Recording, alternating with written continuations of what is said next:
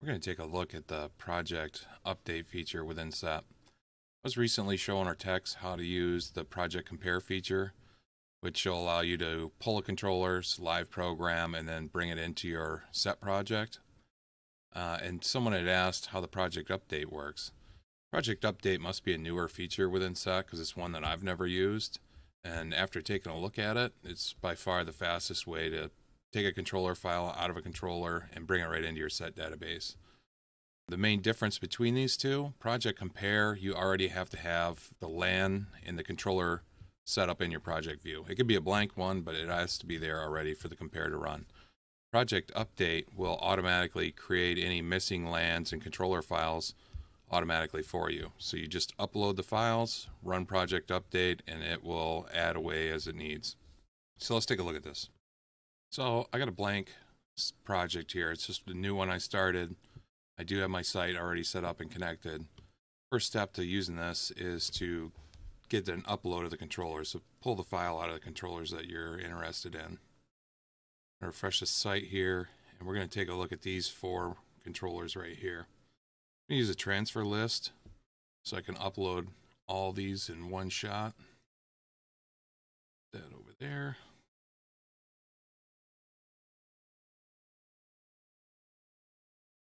So I got the four controllers I want. Upload selected, and I'll let that run.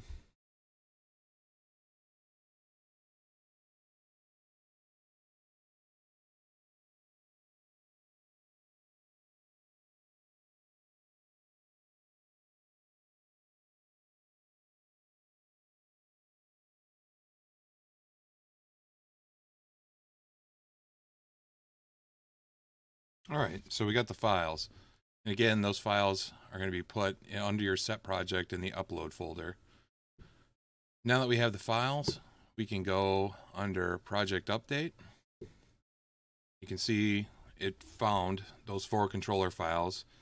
It knows what the firmware version is, so it even handles um, making sure that any modules it creates match that same firmware version.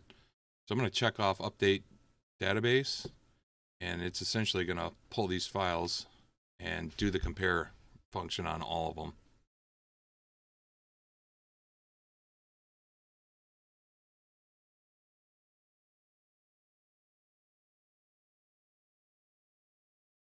And there we go.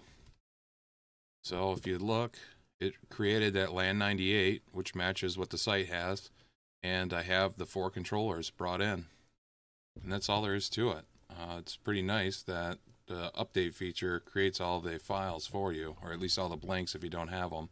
That was a bit of uh, work before. And you can see there's nothing too magical on the compare. You're still going to lose if you're starting from blanks. You're going to lose your module names. You're going to lose your connectives, um, page names, text. But you have a strategy you can sort out fairly quickly.